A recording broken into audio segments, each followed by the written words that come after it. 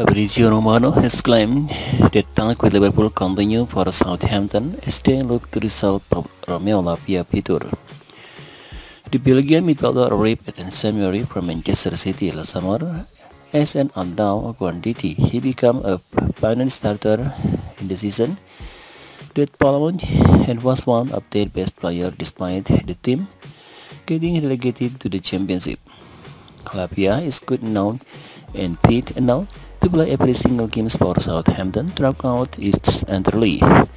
But he has now been kept as an unused substitute in both of their games this season.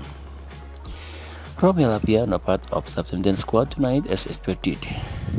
The sign bench him in the in the championship opponent against Sheffield United Sheffield Wednesday Wednesday 1 to 1 without bringing the former Manchester City starlet of the bench. But against Gillingham, he was completely left out, left out of the matchday squad.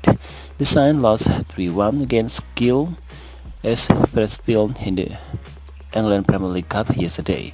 This is of course a massive sign that Lavia is set to leave the club. It can only mean means good news for Liverpool.